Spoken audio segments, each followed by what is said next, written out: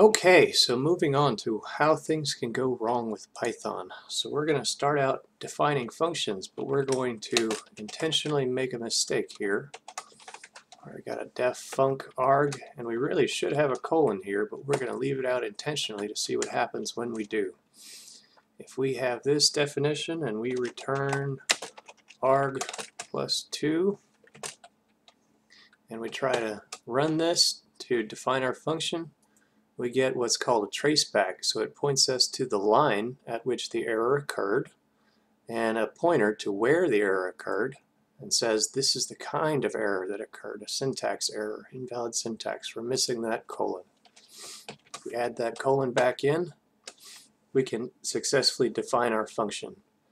Now tracebacks are not just for one level of function as you can imagine, functions can call other functions, and so tracebacks show you the total history of all the functions you've called throughout your your uh, call stack, I guess you could call it. So we're going to define func2, taking another arg, and returning, uh, we're going to call func, the original func, with the input, and multiply that by 2 for simplicity's sake.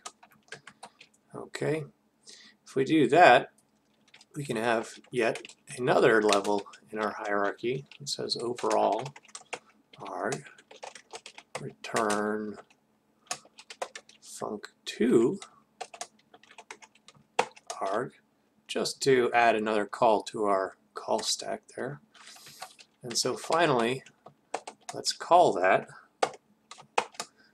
and see what we end up with. So we took an initial input of 3, we fed it into overall, we went to func2, into func2, fed in func3 to arg2, okay, so we go to arg. What is 3 plus 2? It's 5 times 2 out to here, we return that, and that's what we end up with is 10. What happens if we feed in some data that might not work? You might remember that you can't add numbers to strings.